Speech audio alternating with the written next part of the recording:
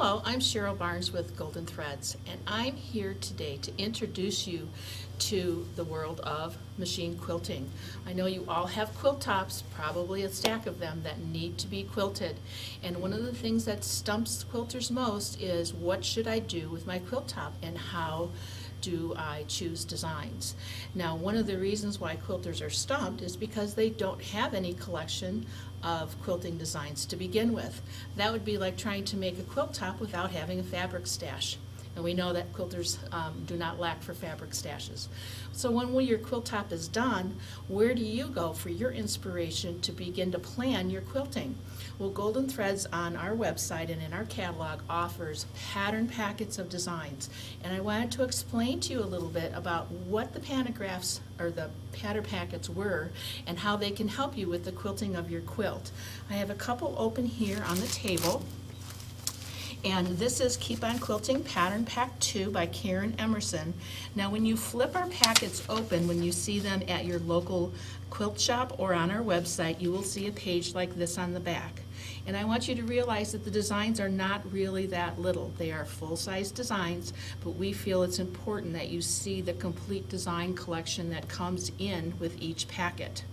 So this is what your designs will look like in your pack. They are full-size designs. On the ones that are a little more complicated, we do give you the stitching diagrams so that you don't have to wonder where to start and where to go. They are all continuous lines, so there's a limited amount of stopping and starting when you start to free motion quilt.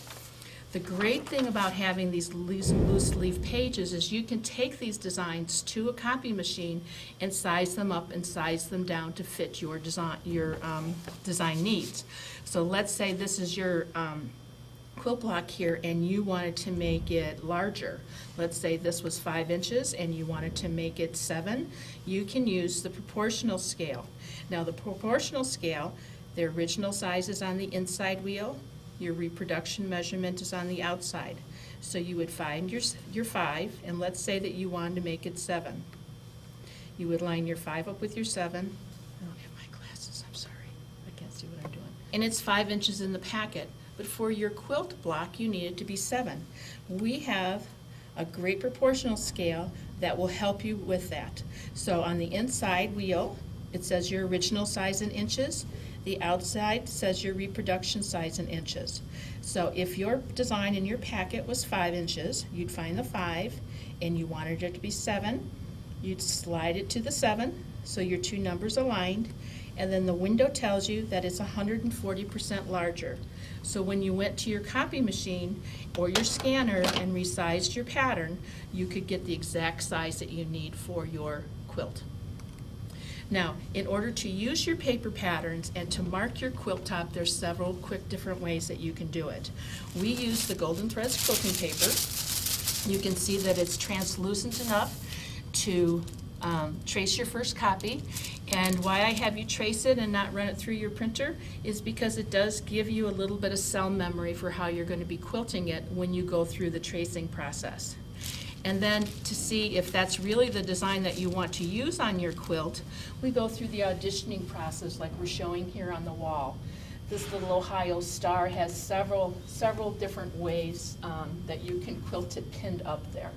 So try, don't be afraid of trying different things and playing with your patterns that come in the pattern packets. So these are, this will excite you once you find a quilting plan that you like in order to start um, free motion quilting. Now, once you find your designs and you need to mark your quilt top with them, you, there's several different ways you can do that. Again, we use the quilting paper, so you can trace the design that you like um, stack several layers of paper underneath. Needle punch this on your sewing machine with a large needle and no thread, and what that does is it gives you multiple copies of the same design. Now you have two choices with this. You can, well, you place the bumpy side up, and on your fabric, you can use the quilt pounce. And the quilt pounce that I recommend and sell is the one that is iron off. So you can see that even through the tiny holes from your sewing machine, you're going to be able to mark your pattern. And show you how this wonderful pounce disappears with just a little bit of heat. There you go. the paper, you can adhere it to your fabric with pins, or you can adhere it to your fabric using the sticky dot stamper. Now, why I recommend the sticky dot stamper is you can see here that the pins have created little hills and valleys in the paper. So your paper does not lie completely flat. Here, the little green dots, sticky dots do not make the green dots. I just did that with a marker so you can see where I've placed them. And what I've done, and what you can do is use your sticky dot stamper. Oh, we sewed through the paper over here. And press down like this. It releases the sticky dot, and then that's what's going to hold it nice and flat. Now this is made to be permanent on paper, so it will not um, stay on your fabric or leave any kind of residue, but it does give you a nice, um, nice, um, stable um, way of holding your paper on. Now, once you quilt through your paper, you're going to need to remove it. My tip, tip for that is to simply pull your project a little bit, and the paper will pop right away from your stitches. If you do have a design where you cross over your stitches several times, or your stitches get really small and you get these little baby slivers in here, most of the time they will come out by just brushing them with your fingernail. Um, you can use a toothbrush to do that with, and then follow up with the sticky lint roller, and that will remove all of the little slivers that you will that you'll have on your on your quilt top. Borders with lots of different border designs, some that are all blocks, feathers, holiday designs, nature designs. Our designers range from very contemporary to very um, to feathers. Uh, we have Judy Allen, who specializes in feathers, Sue Patton, who does freehand work. This is one of our pattern packets for creating your own pantographs. So if you do quilt on a frame, you can use any of the other designs with your laser or these other techniques that I have shown you, or you can create your own pantograph and work from the back of your machine. The way that I teach free motion quilting is using the dot-to-dot -dot technique because it's a technique that mimics how we learn to write and it also gives you skills that you can build on. And when we get to the sewing machine, I'm going to show you how you can, easy ways to practice. But first let me describe the technique to you. In the dot-to-dot -dot book, I give eight different practice shapes. These are basically um, your letters.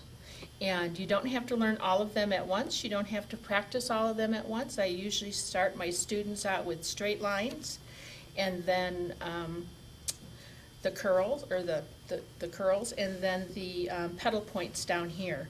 And um, these are small in the book, but when you practice, I'm going to show you how to blow them up and then um, to be larger and then practice on your sewing machine. So one or two of these you can start practicing and you'll be able to do better and feel more confident with your free motion quilting. So let me show you up on the wall here what I'm talking about with the technique. These are two of the shapes, the scallops and the petal points. Now when I am telling my students how to do uh, practice their free motion quilting, I'm not so concerned that you stay on the line. I know a lot of quilters say, oh, I can't quilt because I can't follow the design, I can't stay on a line. And it's more important that you make nice, smooth shapes in between the dots than it is that you stay exactly on the line because eventually your markings are going to be off of your quilt and you're not going to see if, if, if, one little scallop is higher than the other little scallop. So just get used to practicing the shapes. Now the same thing down here with the petal points. Just make a nice shape in between each dot. Now why I put red dots on the shapes are for several reasons. One is it gives you a starting and an ending place um, for your stitching. It's a target for your needle. It's a place for your eye to look because a lot of quilters wonder how far ahead they should look when they're quilting. And it also breaks your design up into little manageable chunks. So you're just doing one section at a time. It also gives you a place to stop, reposition your hands, breathe, pet your cat, drink your wine, whatever you do in your free motion quilting. But it does make it break it down into little sections for you. Now, even just looking for a couple minutes at these scallops and these petal points, after you have practiced these shapes, these shapes will then take you on to the next level of quilting, and that's when you're actually quilting patterns. you can see that this pattern here is made up of the scallop and the petal point. Now the stitching diagram for this is you do your petal point, your petal point, the big one, and you move on. Or you can do your little one, the big one, the little one, and move on. Either way, it's a continuous line design, and you're using the same design, um, the same shapes that you have practiced to begin with. Now, eventually, when you get confident with this level of quilting and this level of quilting, you can also, and you will, move on to this level. Now, I want to back up a little bit, and a lot of quilters think that if they can't quilt designs at this level, or they're at a quilt show and they see all these wonderfully quilt, quilted quilts, instead of being inspired, they get overwhelmed. Not everybody starts out quilting like that. This is where you need to start, and these are the builders so that you can build your free motion um, confidence. And you can see down in this design here, this is just a mirror of this one. And even though it's a lot um, more complicated and intricate design, it still breaks down to the two same basic shapes. Now let's go over to the sewing machine and see how you can actually do some of these practices. All right, this is Cheryl Barnes again, and I'm joined by Hattie Brown at the Handy Quilter Studio, and she is showing how to practice and learn um, free motion quilting dot to dot. You remember, these were the scallop shapes, and one of the practice exercises is to trace them in different sizes and then different orientations on the quilting paper, and without thread in your needle, just needle punch from dot to dot not necessarily trying to stay on the dot, but just to make a nice smooth mo motion between your dots so that you can you learn the shapes like you learn your letters. You try them in several different sizes, try them in several different orientations. She did some scallops um, with the bump on the top. Now she's practicing her scallops with the bump on the bottom. And this will is the first way to practice. You're just on one of your, your shapes.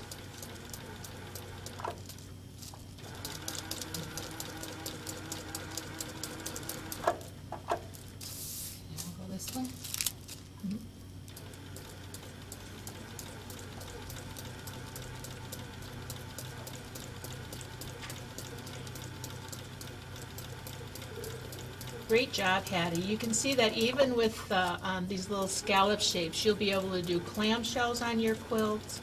You'll be able to do lots of lots of different things in your borders and your corners, and um, start quilting some actual quilts, which is this one shape. Okay, the second part of practicing is once you needle punch through the paper, then go ahead and put your paper onto a fabric sandwich. And it can be any old fabric because what you're trying to do is get used to moving your fabric now in the shape of the scallops. Now if you don't want to stitch through the paper a second time, you can also use your pounce box and, and mark through the holes these scallop um, practice shapes or whichever one of the other practice shapes that you're working on. And I noticed that Hattie was wearing the Machinger gloves and that a lot of quilters find very, very helpful because it just gives you a little bit of grip so that it's easier to move your fabric and you don't feel like you have to pinch your fabric or, um, or crumple it up in order to move it. So you can even see now that her speed is picking up. She's getting more familiar and more um, comfortable with the, with the scallop shapes. And you'll also notice that we're not using any thread. Well, the reason why we don't use thread when we're practicing is quilters get a little weird when you add thread, because then they're worried about their stitch length and they're worried about staying on the line. And when you're learning to quilt dot to dot, it's not about any of those things. It's just learning to make your basic shapes. So eventually, if you read through this, the practice steps in the book, I will have you add thread to your machine. But the demonstration that you're watching today is just learning how to practice. So I encourage you to um, get the Golden Threads um, Free Motion Quilting Dot to Dot book, practice your shapes, move on to designs, and finish that stack of quilt tops you have in your closet.